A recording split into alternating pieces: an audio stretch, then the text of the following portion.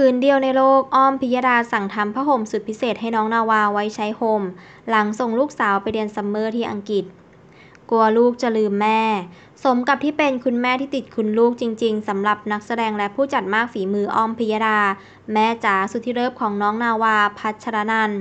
ล่าสุดน้องนาวา ไปเรียนซัมเมอร์ที่โรงเรียนชื่อดังของประเทศอังกฤษ ต้องใช้เวลาอีกสักพักกว่าจะกลับคืนสู่อ้อมกอด คุณพ่อคุณแม่ที่ประเทศไทย คุณแม่อ้อมที่เดินทางไปอยู่เป็นเพื่อนและดูแลลูกสาวในช่วงแรก ๆ กลัวลูกจะสนุกจนลืมแม่เลยสั่งทำผ้าห่ม สกรีนรูปคู่แม่ลูก ไว้ให้ลูกสาวใช้ที่นู่นด้วย ลูกจะอายเพื่อนไหมไม่รู้ แต่แม่อยากทำให้สุด ๆโดยอ้อมได้โพสต์ภาพที่ลูกสาวไปเรียนซัมเมอร์ที่ประเทศอังกฤษ ผ่านอินสตาแกรมส่วนตัว พร้อมข้อความระบุว่า นาวาไปเรียนซัมเมอร์ ไปกับเพื่อนซี